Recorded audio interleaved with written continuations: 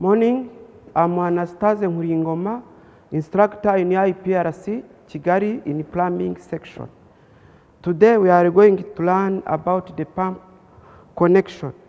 Then uh, the use of pump today, as learners you will be able to know all kind of the pump or measurement pump connection, measures to taken when installing the pump, then also you will be able to know the suction side, the delivery side, and also you can know when you are going to buy to the market the pump, what is refer on. Normally, in general, this it will give you overview on major pump connection related found in small water installations. Then uh, we can go forward, but we have to know the use of pump. Normally, the pump is used to move water from a source such as a river, lake, reservoir, wells, and spring, and so and so on. Then water, using this pump, also it can be used to move water from treatment plant to the distribution system or reservoir. This also, it can maintain pressure in the distribution system and also it can circulate water through a distribution systems and also this can be used also in the irrigation system. And also this pump we are going to use today, the pump they are in two types. The first one, it is the dynamic pump and another one, it is the displacement pumps. This centrifugal pump we will go to learn today, it is in the group of this dynamics pump. It means we have to look on this one today and also we end up after having all knowledge, all kind of the you refer on when installing this centrifugal pump. And here you can have all kind of the pumps. Here on the table we are having some of them. We are having the part of them. And also here we are having this pump completely. Then also this pump, this pump, it can be used only in the transferring of the fluid. Normally, this centrifugal pump, it generates forces and pressures to and the flows because it is used centrifugal forces to generate the pressures and the flows.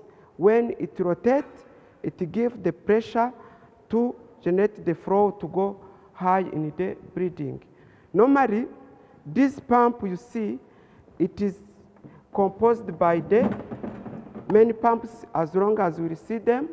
When you say the casing, it is this one, but having the inside pump. Then also there is an hydraulic system on this pump. When we say hydraulic system on this pump, we are talking about piping, pump piping. When you have the pipe connecting this pump, and also we say the hydraulic system. And also we can say the electrical system. And this, it is motor. When you look on this pump, this is a motor. Here there is a ventilation. When the motor working, it must be ventilated. And it is motor and its related component electrical installation. And there is control system. When we say control system, normally we are referring to the pressure, flow, and related levels and switches. When we go to the practice site, we will see the pressure, the flow, and related switches.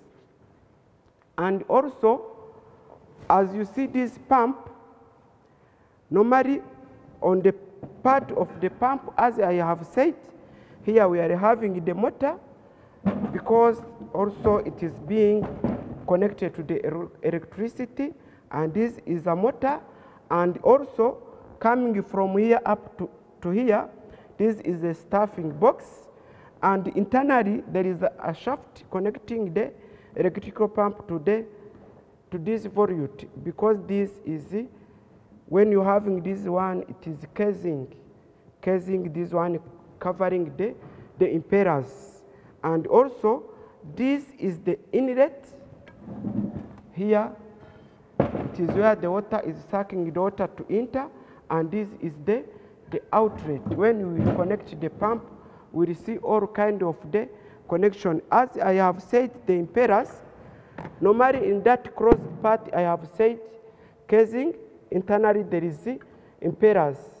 We, when we go, we go down, we see those are kind of the impellers. And normally, these impellers I was saying about, I was talking about, there are in, into three categories. The first one, there are closed impellers, semi-impellers, and the open impellers. Normally here, when you see this, here those, those are the open impellers. It means when they are rotating, when they are rotating, they can rotate clockwise, then they can push water to enter into the void. Then here also, as you see, as I have said, these are rotating internally and this one is going to connect. Then it is when it's rotating inside, it push water to come up as they are rota- rotating. It is this side closet, inside it is this side. Then also, uh, coming down also, we have, there is some pump which, which have single impellers and another one have my multiple storage, multiple installation of, of impellers. Normally on this one, as I have said in the centrifugal pump, also we are having the submersible pumps. This one, this one with this submersible pump, normally we are having the electrical side, as you have seen on that one, it is coming up to this level. Normally that one, it is sucking to the inlet, but the inlet what of this one is this one. And also from here up to this level, it is where the, the impellers are connected by flowing on the shaft. Then when this is working also, the pump is rotating, then also it is rotating the shaft and the impellers here are rotating internally and also it is suck water here.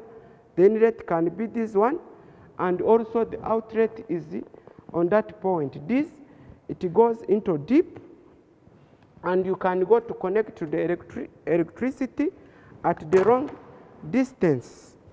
And also, when you move forward, as I have said, on this side, I have said that you are having the impellers, and also we are having the casing, and also when it is rotating, for example, on this side, the impellers are rotating this side, then the flow, the flow of water,